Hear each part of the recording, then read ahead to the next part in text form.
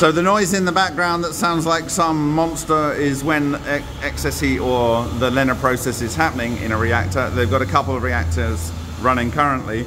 And because of the pace of development here, uh, they have to create their own reverse osmosis deionized water here, which they create continuously.